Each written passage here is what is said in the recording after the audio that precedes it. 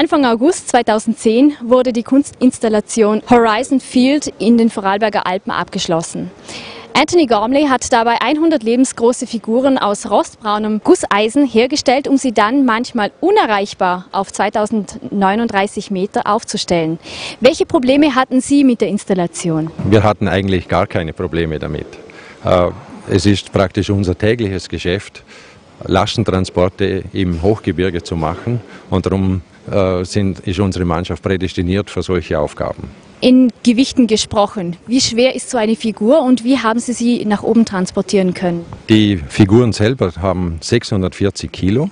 Das ist für unsere Hubschrauber gar kein Problem. Wir können bis zu 1400 Kilo an den Haken hängen.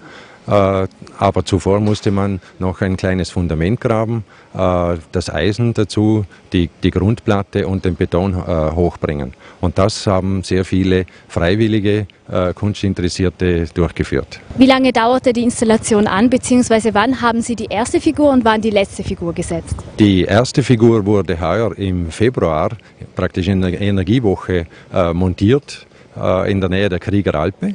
Und äh, die letzten wurden jetzt äh, Ende Juli, Anfang August äh, fertiggestellt, äh, um zur Eröffnung eben pünktlich fertig zu sein. Warum sind die Alpen geradezu prädestiniert für diese Auswahl dieser 100 Figuren? Der Künstler hat äh, Vorarlberg ausgesucht und äh, diese Region des hinteren Bregenzer Waldes und der Lechtaler Alpen. Meine persönliche Meinung ist, dass sich das Gebiet sehr, sehr gut, hervorragend für diese Landschaftsinstallation eignet, weil eine wunderbare Landschaft ist und äh, so setzt man sich mit der Kunst und unserer Heimat äh, direkt auseinander.